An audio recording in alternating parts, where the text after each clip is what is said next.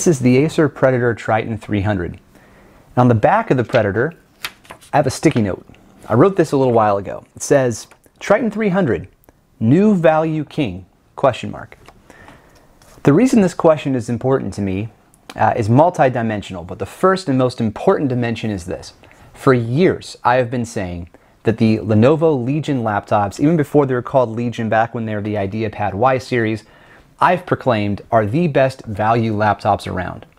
Now, for reference point, this laptop is $1,500 and has an RTX 2070 Max-Q, a 10th gen Intel i7 processor, and 16 gigs of RAM. And it has a cool design and a really nice keyboard. The Lenovo Legion 7, 15 inches, same specs, is $1,600 on sale.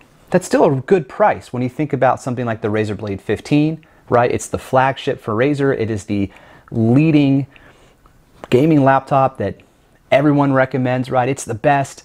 $2,600 for those specs. And Razer has a number of options below that that are also very, very well built with a you know aluminum single body, etc., etc., etc. This little guy surprised me. You see, $1,500 for these specs, that's a really good deal. And that's not even a sale price but it's not perfect, right? I love the display. I love the keyboard. I like the design a lot. I think it looks really cool, but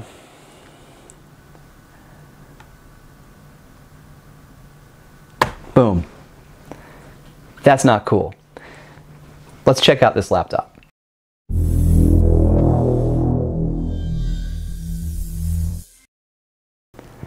I had a very good time reviewing this laptop. It might be one of my favorites for the year. It's an easy recommendation for me to make. Now, typically I recommend people to either Razer or Lenovo for their gaming laptop needs, but right now I'm slotting Acer in as the value king, and here's why. First of all, specs, to put some context around the performance. 10th gen Intel Core i7, 16 gigs of RAM, and an NVIDIA RTX 2070 Max-Q. Not a Super Max-Q, a Max-Q. Also, there's only one spec that I can find in the States. Although the Acer website alludes to a 32 gig version, I couldn't find it. Perhaps that means you can just slide another 16 gigs of RAM in here and away you go. I don't think you need it for Windows 10. I don't think you need it for gaming. So, a little more about this. Performance is really something special. Now, the numbers aren't going to blow you away unless you have something to compare it to, so I'll do my best to do that. Witcher 3, about 72 frames per second on average. Now I put this alongside a $2,600 Razer Blade 15 with a 2070 Super Max Q.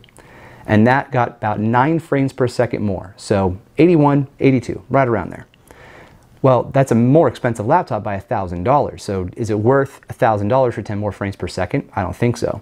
Also, I put it next to a Lenovo Legion 5 with an AMD 40, Ryzen 4500U, or it was an H. It was an H. And that had a 1660 Ti GPU. And that laptop was closer to 45 frames per second. And it's $900. So for $600 more than that Lenovo laptop, you get double the GPU output on Witcher 3. But it didn't stop at Witcher 3.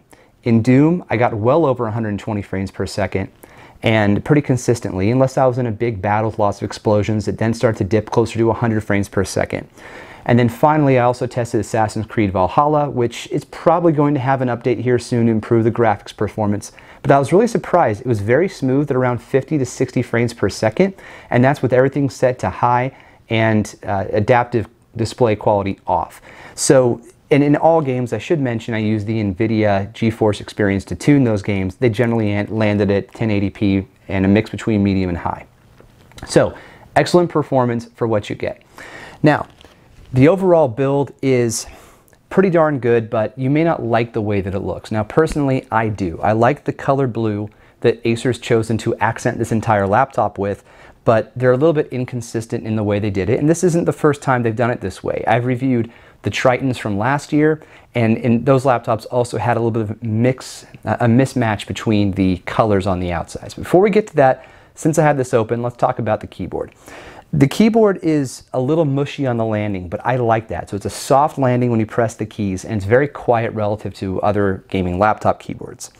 Also, it's not mechanical, so hence the mushy, so keep that in mind. But it is four zoned lighting with a full number pad on the right hand side.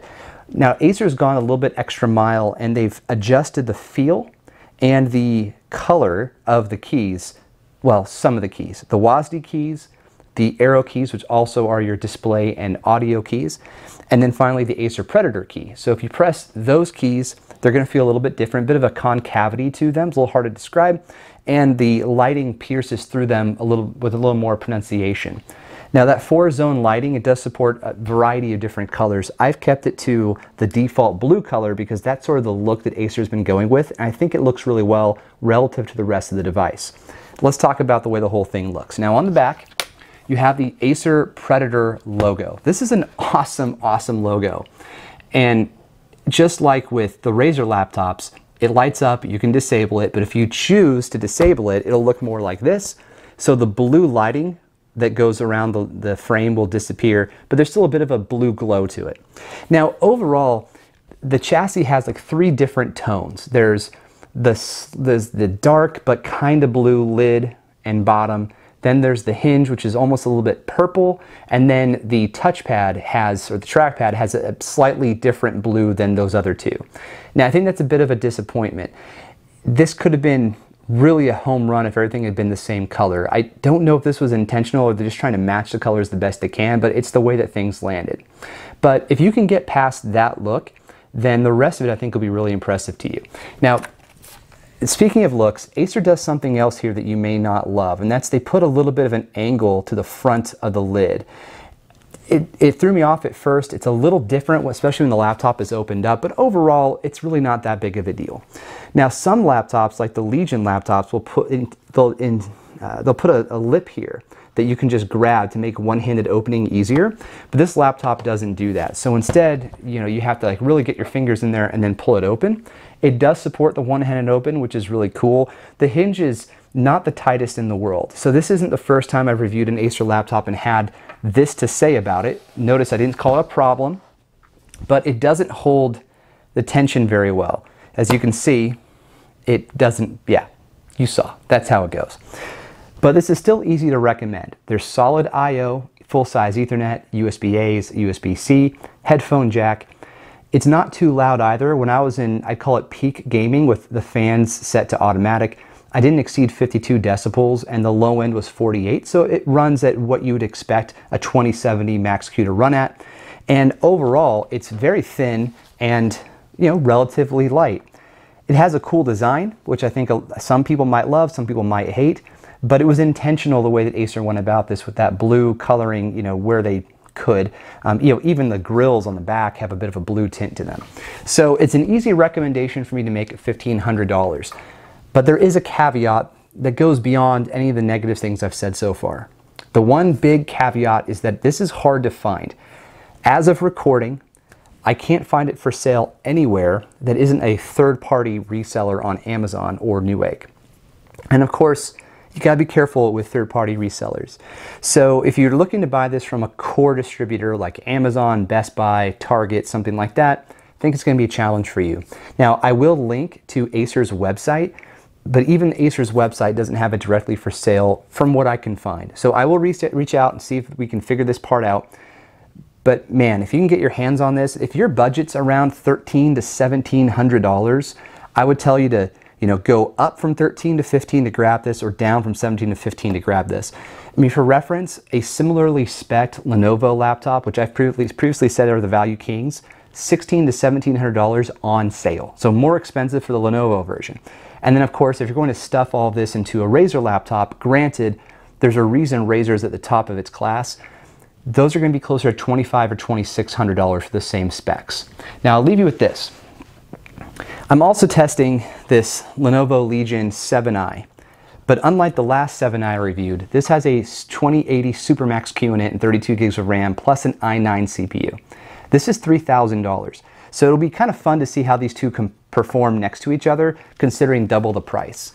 And of course, there's always a diminishing rate of return whenever you're talking about any technology, and the more premium, more expensive they get. So hopefully you found this helpful. If you can find a Predator Triton 300 for sale, you should grab it. I think it's a really nice laptop. I can't speak to long-term performance, of course, or long-term support by Acer, but it's a company that's been around for a long time. I wouldn't be surprised if you don't find that their customer service is solid. So Looking forward to your thoughts and comments below. Thanks for watching.